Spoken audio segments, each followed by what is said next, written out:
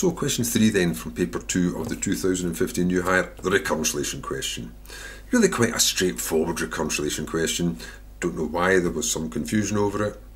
If you want to find some confusion, look at the marking scheme. It's actually best ignored if you want to find some reference as to how these questions would be marked in the future, I would suggest. So what have we got here?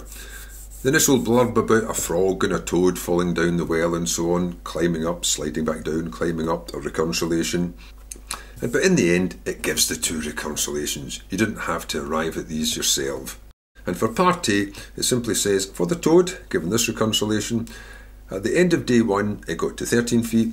What would it get to at the end of day two for one mark? Well, you would just say, the toad on the first day got to 13, so the toad on day two would get to three quarters of that previous day of 13 plus 13. And it is a calculated paper, so you can just press the buttons.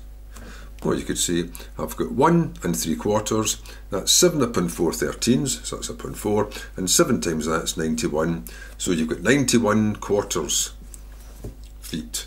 That would do for an answer. Or you could say 22 and 3 quarters. Or you could say 22.75 feet. Or you could say 22 feet and 9 inches. It wouldn't matter. Any of those answers are perfectly acceptable according to the marking scheme.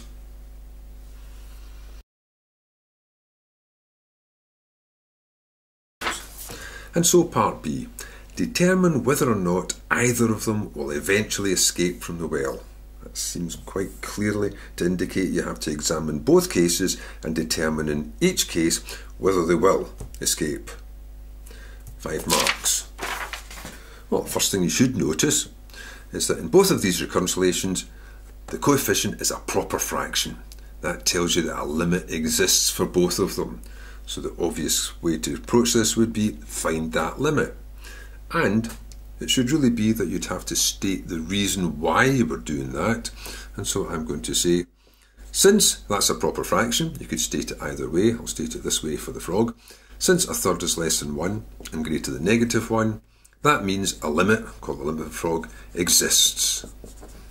Now, I would have thought that would have been a mark, maybe in conjunction with this one, but it's not. But that doesn't matter. Just set it out the way you think you should.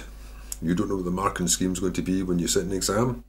And then find that limit. Now, there's two ways you could either put the limit into the recurrence relation or you could use the formula. That will put it into the recurrence relation here. So that means if you put that limit into this recurrence relation and multiply it by a third and add 32, you'll come back out with the same limit.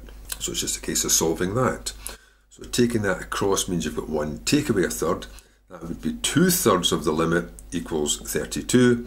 So the limit will be multiplying, I'll put it down, 32 multiply by the 3 and divide by the 2. So the limit of the frog is going to be 16 times 3 is 48 feet, unfortunately. So I would conclude, since 48 is less than 50, that means the frog does not escape. Frog done. Now consider the toad. Same again. There's a limit here. Since that's a proper fraction, I think I'll express it the other way, since its absolute value is less than 1, that means that the limit for the toad exists. This time I think I'll find the limit the alternative way, which is to use the formula. So I'm going to use the formula, I'll just put this down here, b over 1 minus a, just put the pattern for it in inverted commas. So I've got this. The limit for the toad is going to be 13 over 1 minus 3 quarters. So that will be 1 quarter, so that's 4 times the 13 is 52 feet. 52 is more than eh, 50, so the toad does escape. So I'll say that. Since 52 is greater than 50, that means the toad does escape. So there are my two conclusions based on arriving at these two limits. And I haven't mentioned any marking. Maybe it was because there was five, only five marks available, that they weren't quite sure how to position these. But it really does seem strange that this whole conclusion is ignored, and it's only the case of the toad. Because it does say, determine whether or not this one does not, and this one does. There was no marks for this, which in future you would expect there would be. The marks were just distributed as know how to work out the limit, one for each of them, calculate the limit, one for each of them, and instead of a joint conclusion for one, it was just this conclusion for one. But no arguing with the marking scheme. It is what it is. Now, the other way would have been to set up the recurrence relation in your calculator and go through that iterative process of actually working out the heights in all the successive days to see whether or not they escape. Obviously, not the intention of the question, and obviously a misunderstanding of the nature of those equations, but nevertheless, it will take you to the answer. So, taking this chappie first, the frog. On the first day, it gets to 32 where would it be in the second day? So we're going to use our calculators this time for this. So that would be put 32 into your calculator, press equals, so it's now stored under answer, and then when you do answer divided by 3 plus 32, you press the button and you get a fraction. And obviously that's going to happen every time for a while, and you have to press that SD, then the next one, and then press SD, which is a bit of a pest. Best thing to do is go into the setup, shift setup, you see the two display alternatives, the maths display, maths and out, or the line format of the display, maths and out. Choose number two, the line display. Now when you do it, 32, pop it in, answer divided by 3 plus 32, it just gives it as a decimal straight away, which is what I want. But again, the standard for going through an iterative process is show the calculation on the first line of it, so a third of 32 plus the 32, and that was the 42 point, and I'm just going to put the first three decimal places, but not round them off by showing that it continues. And then thereafter, just press the button and put the rest down. So, what happens to the frog then?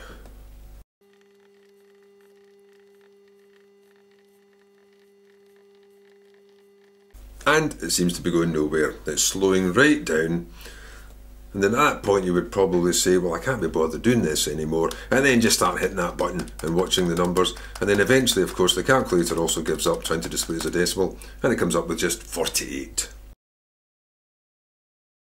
So you would interpret that as the limit must be 48. I'm never going to get an answer bigger than 48.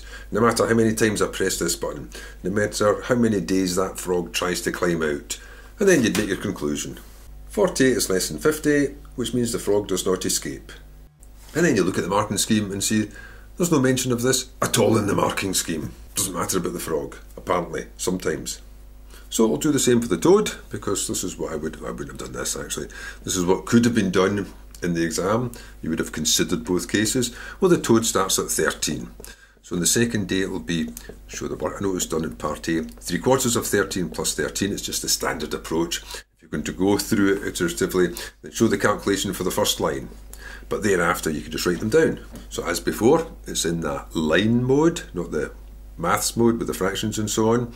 And I'm going to store 13 in the answer, and then I just operate in the answer. Answer times 3 divided by 4 plus 13. And the first answer was, of course, part A, 22.75. And then you just carry on.